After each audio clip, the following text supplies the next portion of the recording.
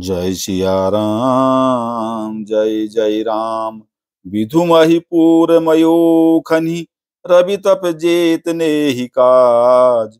मांगे बारिद दे जल, रामचंद्र के राज।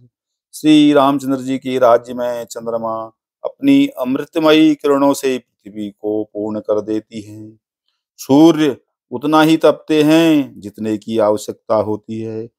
और मेघ मांगने से जब जहाँ जितना चाहिए, उतना ही जल देते हैं। जय सिया राम जय जय राम मंगल भवन अमंगल हारी। सुदशरथ अजिर बिहारी। कोटिन बाजी मेध प्रभु की ने दान अनेक द्विजन कह दीन है श्रुति पथ पालक धर्म धुरंधर गुणातीत अरुभोग पुरंदर। प्रभु श्री राम जी ने करोड़ों अश्वमेध यज्ञ किए और ब्राह्मणों को अनेकों दान दिए।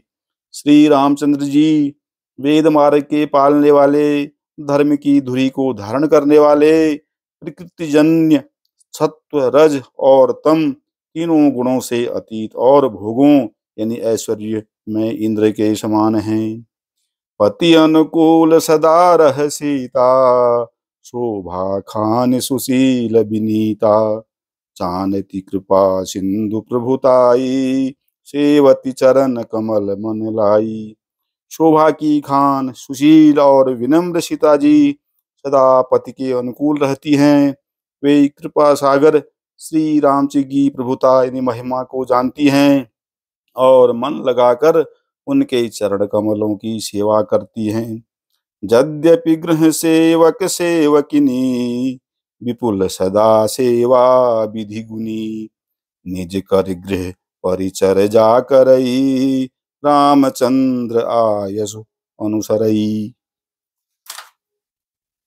यद्यपि घर में बहुत से दास और दासियाँ हैं और वे सभी सेवा की विधि में कुशल हैं तथापि स्वामी की सेवा का महत्व जानने वाली श्री सीता जी घर की सब सेवा अपने ही हाथों से करती हैं और श्री रामचंद्र जी की आज्ञा का अनुसरण करती हैं। जेहि विधि कृपा सिंधु सुख मानई, सोई कर श्री सेवा विधि जानई। कौशल्या दिशा सुगृह माही, सेवई सबिन मान मद नाही। कृपा सागर श्री रामचंद्र जी जिस प्रकार से सुख मानते हैं, श्री जी वही करती हैं, क्योंकि वे सेवा की विधि को जानने वाली हैं। घर में कौशल्या आदि सभी सासुओं की सीता जी सेवा करती हैं। उन्हें किसी बात का अभिमान और मद नहीं है। उमा रमा ब्रह्मादि बंदिता, जगदम्बा संततम निंदिता। शिव जी कहते हैं हे उमा जग, जगत जननी रमा यानी सीता जी। ब्रह्मा आदि देवताओं से वंदित और सदा आनंदित यानी सर्वगुण संपन्न है।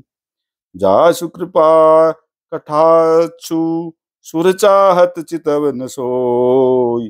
राम पदार बिंदु रति, करति सुभा वही खोई सियावर राम। जय जय राम, मंगल भवन अमंगल हारी। प्रभु सुदशरथ बिहारी